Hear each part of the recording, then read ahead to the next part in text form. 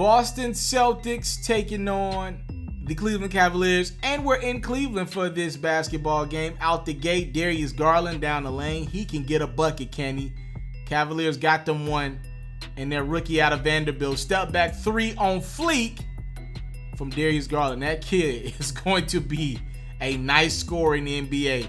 Tacko Fall's job is to prevent guys from scoring. You're not going to score on Tacko on Taco Tuesday. You should know better than that. This whole highlight, to be honest with you, is about Carsen Edwards. Now, he's going to drill 1 3 in the second quarter, but in the third quarter, he would get hot, ladies and gentlemen. Carsen Edwards for three. Boston goes up 11. I told you guys, we're literally just getting started. No, I'm serious.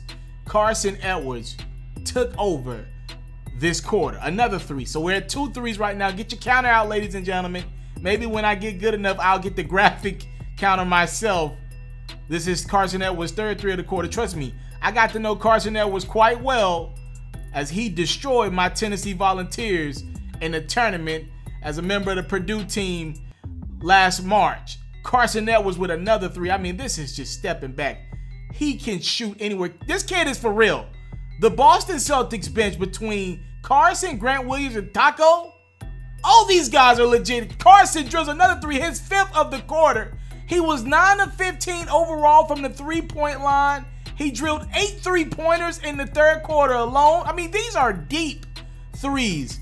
This kid, 30 points, 15 threes is more than Larry Bird ever took in a game for the Boston Celtics. I mean, he's pulling up from downtown Cleveland with some of these three pointers. Eight threes in the quarter, like I said, for Carsen Edwards. And when you got it rolling, it's your night, man. He couldn't miss. That's his eighth and final three pointer, and he's so hot. Now they got to press up on him. He's like, I can get it at the rim too. I can get it at the rim too. Celtics are going to win by a lot. Tremont Waters is going to close this thing out. 30 points for Carsen Edwards. It's all about him as the Celtics get the dub.